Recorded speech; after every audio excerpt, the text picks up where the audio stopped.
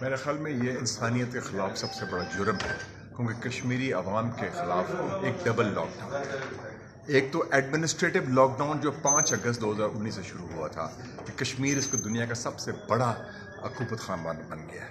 اور دوسرا تو کووڈ کی وجہ سے ہوا ہے۔ اور آج ایک نئی ڈیولپمنٹ ہوئی ہے جو دختران ملت کی لیڈر ہیں، آسیہ اندرابی صاحبہ۔ ان کو زبردستی تہار جیل میں سب سے گندے وارڈ میں قید تنہائی میں رکھ دیا گیا۔ تو ہم سمجھتے ہیں کہ اس کے لیے ہماری آواز اٹھانا ضروری ہے۔ اس کے لیے مودی کے ظلم کو بے نقاب کرنا ضروری ہے۔ اور جو فاشسٹ پالیسیز ہیں آر ایس ایس کی، جو ایک اکثریت کو اقلیت میں تبدیل کر رہے ہیں، ایک سوچی سمجھی اسکیم کے تحت۔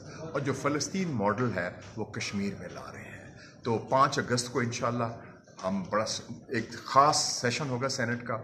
میں as chairman senate foreign affairs committee مجھے ہاؤس نے کہا ہے کہ آپ ایک قرارداد اور ایکشن پلان تیار کریں جو میں تیار کر رہا ہوں اور انشاءاللہ پانچ اگست کو ہم پارلیمنٹ میں پیش کریں گے۔ میں سمجھتا ہوں کہ انٹرنیشنل کمیونٹی کا تو بڑا زبردست کردار رہا ہے ابھی تک۔ United Nation secretary general Antonio Guterres نے آ کے کہا ہے کہ U N security council resolution ابھی تک جائز ہیں۔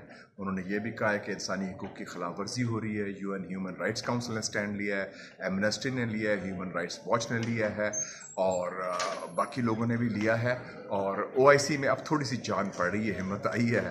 انہوں نے سعودی عربیہ میں لوگ ہیں، قطر میں لوگ ہیں، یو اے ای میں لوگ ہیں، کویت میں لوگ ہیں، دانشور ہیں، انہوں نے بھی اسٹینڈ لیا ہے۔ اور خاص طور پہ چائنا نے، ترکی نے آذربائیجان، ملیشیا اور ممالک نے بھی لیا ہے۔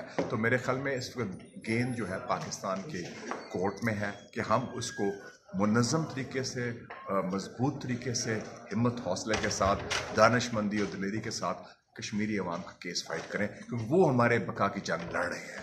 انہوں نے مودی کا جو ظلم ہے، اس کو مسترد کر دیا ہے اور اس ظلم کے خلاف مزاحمت کر رہے ہیں۔ نو لاکھ بھارتی فوجی ایک بارہ لاکھ کی آبادی کے علاقے کو زبردستی قبضہ کیا ہوا ہے، جس میں مظالم ڈھائے جا رہے ہیں، خواتین کے خلاف، بچوں کے خلاف، مردوں کے خلاف۔